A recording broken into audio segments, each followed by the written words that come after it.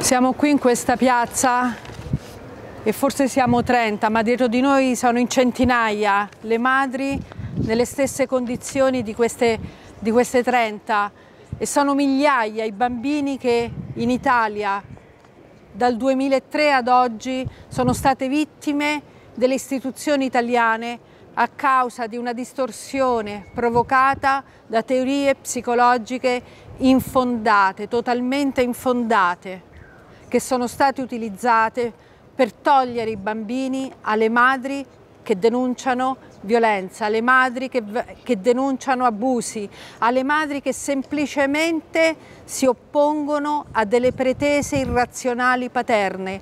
Oggi qualunque motivazione è valida per nominare e incaricare un CTU, per diagnosticare un'alienazione parentale, una simbiosi materna, un conflitto di lealtà o un qualsiasi infondato disturbo del comportamento e con tale scusa e con tale motivazione assolutamente non fondata dal punto di vista documentale e fattuale togliere i figli.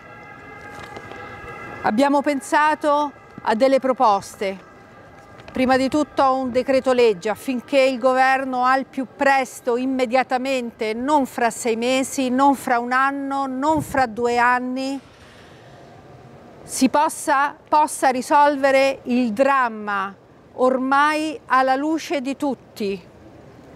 Non siamo più 5, 10, 15, 20 professionisti a denunciare la distorsione di questo sistema.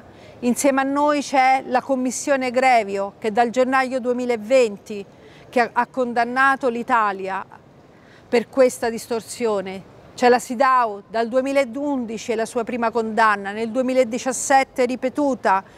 C'è ancora la Commissione Femminicidio che a giugno scorso ha reso palese l'esito dell'esame di ben 1500 fascicoli processuali. Tutti i fascicoli processuali riguardanti madri rivittimizzate e soprattutto minori rivittimizzati. Queste le nostre proposte revocare immediatamente con effetto anche retroattivo i provvedimenti di ablazione di minori emessi già attuati o attuandi sulla base di teorie quali la PAS, l'alienazione parentale, la sindrome della madre malevola e altre teorie analoghe o da queste derivate, con previsione di ritorno immediato nell'abitazione materna. Secondo, considerare come fattispecie di reato rientrante nella violenza privata su minori le relazioni di CTU, assistenti sociali, tutori e curatori, nonché provvedimenti giudiziari finalizzati a sottrazioni dei minori e loro istituzionalizzazioni decise sulla base di valutazioni orientate alla teoria PAS o ad altre teorie analoghe o da quella derivate. Sono tutti provvedimenti infondati nazisti considerati dalla Cassazione. Non ci sono più scuse. Oggi non si hanno più scuse. Terzo, chiediamo che il decreto si richiami esplicitamente al rispetto delle convenzioni europee, non solo di Istanbul, che protegge le donne vittime di violenza, ma anche di Lanzarote, che protegge i minori dagli abusi incestuosi e questo è un aspetto che costantemente viene dimenticato nonché i principi fondamentali della, della Costituzione italiana di cura e protezione dei minori dalla violenza domestica e dagli abusi sessuali. L'articolo 31 della Costituzione tutela la maternità insieme all'adolescenza e all'infanzia.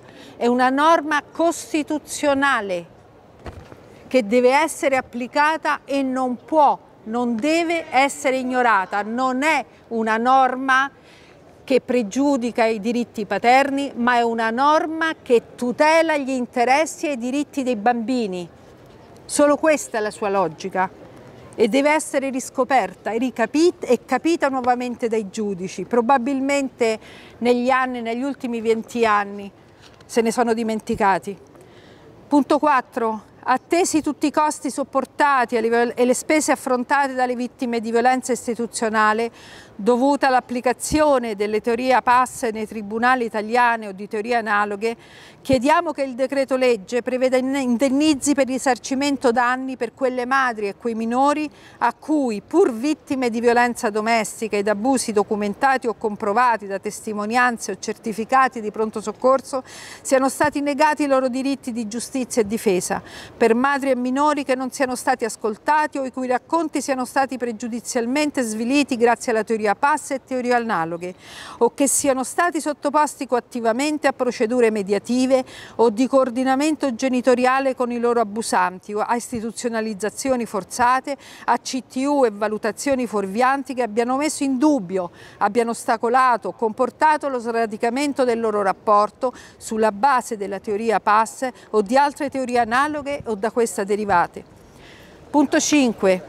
Chiediamo la immediata epurazione degli albi, dei consulenti tecnici d'ufficio, di tutti quegli psicologi e psichiatri, nonché pedagogisti, mediatori, assistenti sociali, criminologi, eccetera, che hanno sostenuto la teoria PAS o altre analoghe o da essa derivate, scrivendo su di essa, insegnandola, diffondendola e soprattutto applicandola. Sesto, Accogliendo la petizione dell'Associazione Meson Antigone chiediamo l'acquisizione immediata e l'indagine da parte della Procura Generale di Roma e del CSM di tutti e 1500 i fascicoli processuali già acquisiti dalla Commissione parlamentare sul femminicidio si tratta di altrettanti casi processuali in cui potrebbero essere state commesse gravissime violazioni di diritti fondamentali e processuali di difesa dei minori. È sbagliato dire potrebbero, in cui sono stati violati, altrimenti non sarebbero stati acquisiti questi fascicoli processuali. Chiaro e tondo violazioni della libertà di queste madri e di questi minori, della loro salute attraverso l'applicazione di prassi di istituzionalizzazione e resette non supportate scientificamente e infondate scientificamente e giuridicamente che potrebbero rappresentare reati di violenza privata agite su quei minori e in quanto tali procedibili d'ufficio. Non ci sono scuse, tutti i reati in cui le vittime sono di minori sono procedibili d'ufficio. Chiunque di fronte alla notizia di reato può denunciare e qualunque in qualunque procura può agire. Io chiamo in causa procure, la Procura di Roma perché è competente, perché a mio parere i giudici sono fra le prime vittime di questo sistema. Non tutti probabilmente, ma sicuramente la stragrande maggioranza è vittima di una distorsione e in quanto tali, i giudici in quanto tali, in quanto vittime prime di queste distorsioni, la, la procura competente è quella di Roma. Punto settimo. Chiediamo infine l'intervento della Corte dei Conti ai fini della verifica di eventuali danni erariali allo Stato. Non, non sono eventuali questi danni erariali, posto che la PAS è una teoria nazista e ce lo ha certificato la Cassazione, posto che la PAS e, e la sindrome della madre malevole e dunque tutte le teorie eh, complementari ad essa, analoghe o derivate, sono naziste e anticostituzionali, e cioè criminali, perché questo vuol dire essere nazista, tutto ciò che è venuto conseguenzialmente all'applicazione della PAS è un danno erariale, è o ipso, le istituzionalizzazioni dei bambini, le nomine delle CTU, le nomine di tutori, di curatori, l'intasamento dei tribunali, l'intasamento per i servizi sociali. Parliamo di miliardi di euro l'anno. E poi voglio fare degli appelli. Voglio fare un appello soprattutto alle mamme, alle mamme che sono stanche, perché è da anni che stanno lottando ed apparentemente non si muove niente. Purtroppo qualcosa si muove, ma si muove con dei tempi troppo, troppo rallentati. Ci abbiamo messo gli anni affinché la Commissione Femminicidio si accorgesse di una distorsione che non è una distorsione eccezionale, è una distorsione sistemica, è una distorsione in cui chiunque può incappare. Recentemente due madri mi hanno chiamato una madre è un giudice onorario presso il Tribunale per i minori, non dico la regione. Un'altra madre è un magistrato. Questo dà l'idea che qualunque mamma può essere rivittimizzata da queste istituzioni. Nessuno è al di fuori di questo sistema. Tra queste madri ci sono giornaliste, ci sono avvocate, ci sono professoresse, ci sono insegnanti, ci sono ricercatrici universitarie, ci sono anche giudici. Quindi il primo appello alle mamme, continuate a segnalare, non ci bastano 1500 segnalazioni alla Commissione Femminicidio, noi sappiamo che sono molte di più. Una mamma recentemente mi ha chiamato, è una ufficiale di una forza armata, non dirò quale, non dirò da quale ragione mi ha chiamata. La CTU ha ritenuto che sia alienante per il semplice fatto che ha denunciato, la denuncia è esitata in una condanna del padre violento, ciò nonostante è stata ritenuta ostativa per il semplice fatto che sua, eh, i suoi superiori l'hanno spostata di regione e lei per non perdere la progressione economica e la progressione di carriera non ha potuto non accettare, anche perché essendo un militare ha dovuto accettare questo trasferimento. È stata considerata alienante, la CTU ha chiesto e il giudice ha preannunciato in udienza che le avrebbero tolto il figlio per affidarlo al padre, toglierlo a una madre alienante. Queste sono le madri considerate inadeguate dalle nostre istituzioni oggi a causa di queste teorie. Un appello quindi alla Commissione, a queste mamme affinché continuino, non si devono fermare, anzi devono essere sempre di più perché solo in questo modo il sistema, la magistratura può capire quanto sia diffusa, il, diffuso il dramma che colpisce queste 30 madri che mi sono alle spalle, 20 mamme. Un altro appello agli ex minori, a quei bambini che sono stati vittima di violenza 15 anni fa, 10 anni fa, 8 anni fa, che oggi hanno 18 anni. Alcuni di essi sono scappati. Compiuti 18 anni il giorno dopo c'è chi ha chiesto il cambio del cognome e chi è andato via dall'Italia. Sono bambini sfiduciati che non hanno nessuna fiducia né nei tribunali né nelle istituzioni italiane. Dovete fare qualcosa subito, presto, sono 60.000 ogni anno i genitori che si separano, di questi il 25% lo fa in modo conflittuale. Per gli psicologi giuridici oggi la conflittualità è più pericolosa della violenza. Questo significa solo una cosa, che il 25% di quei 60.000 vanno automaticamente in CTU e rischiano, rischiano l'istituzionalizzazione.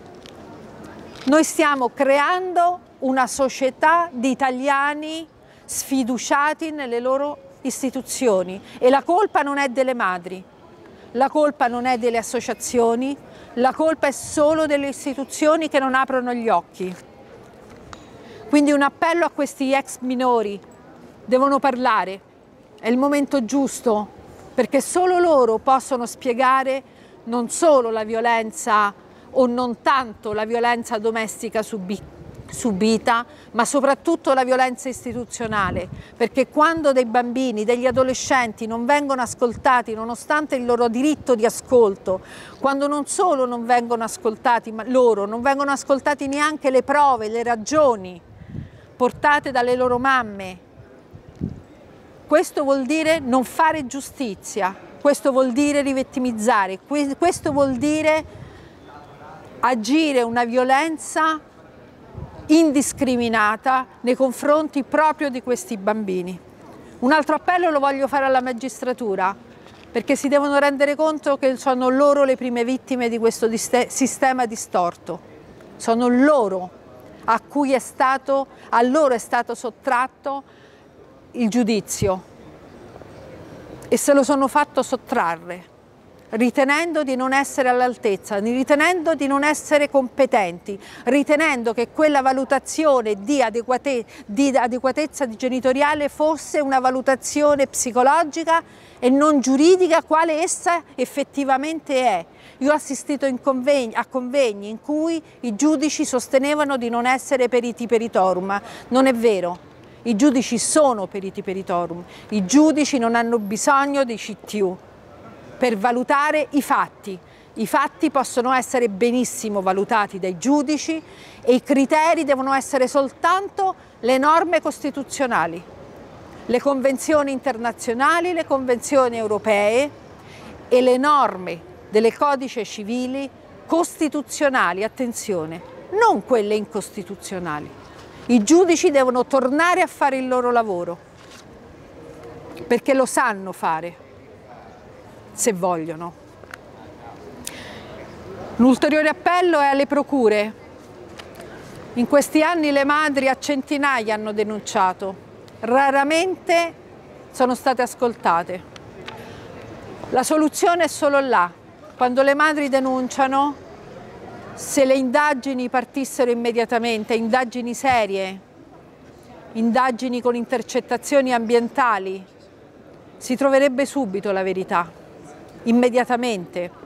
E se ci fossero queste intercettazioni ambientali nel giro di una settimana, 15 giorni, 20 giorni, un, me un mese, non avremmo bisogno né di processi che durano 10 anni, 15 anni, Poco fa le mamme mi dicevano qualcuna aveva speso 250 mila euro, qualcun'altra 210 mila euro, solo la mamma, ma altrettanti ne ha spesi il papà, per non parlare di tutte le spese dello Stato il danno erariale, se noi, se ogni procura attivasse queste indagini, noi avremmo un risparmio di miliardi l'anno, non solo da parte dei privati, dei singoli cittadini, di migliaia di singoli cittadini, ma anche da parte dello Stato, soprattutto da parte dello Stato. È tutto là, è tutto qui la soluzione. Non c'è bisogno di fare chissà quali leggi, basterebbero delle procure attente che immediatamente agissero con le indagini, indagini serie, senza pregiudizi. Un altro appello lo voglio fare al legislatore. Il legislatore deve smetterla di far elaborare leggi agli psicologi. I piloti non possono, i piloti di aerei intendo, non possono mettersi sullo scranno al posto dei giudici. I giudici non possono pilotare aerei. Gli psicologi non possono fare il lavoro dei piloti e alla stessa maniera non possono fare il lavoro né dei giudici né dei e né del legislatore. Negli ultimi anni assistiamo a leggi, disegni di legge e purtroppo anche a norme approvate, elaborate da psicologi e psichiatri forensi che ritengono e reputano di essere competenti, mentre non lo sono. E il risultato è evidente, il risultato è questo,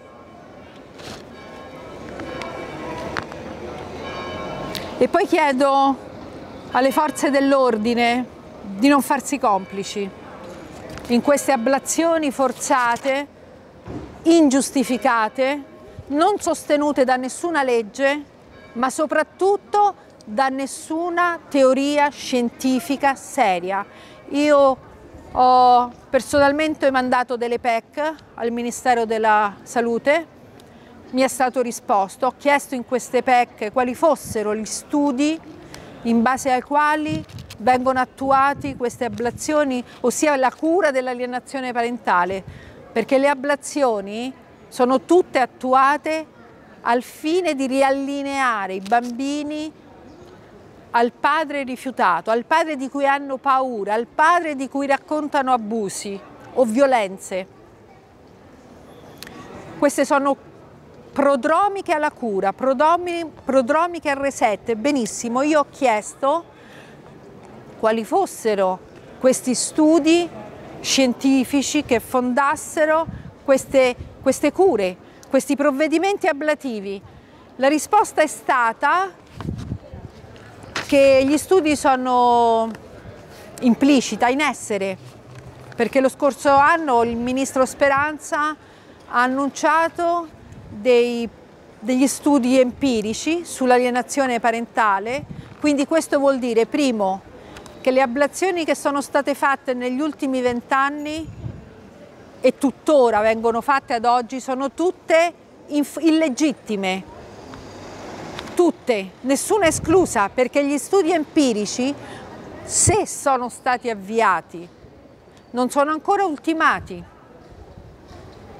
E comunque, secondo aspetto, quali studi empirici possono essere fatti riguardo una teoria riguardo la quale già si è pronunciata l'OMS, già si è pronunciata la comunità accademica internazionale dal 1995 ad oggi ripetutamente. Voglio chiarirlo qui una volta per tutte, l'OMS non ha accettato la teoria alienazione parentale né come sindrome, né come disturbo, né come disordine, ma neanche come problema relazionale. È stata fatta questa esplicita, chiara, precisa domanda all'OMS ed è stata rigettata la richiesta. Quindi di cosa stiamo parlando? studi empirici che se qualora fossero stati avviati rappresentano un chiaro e gravissimo danno erariale.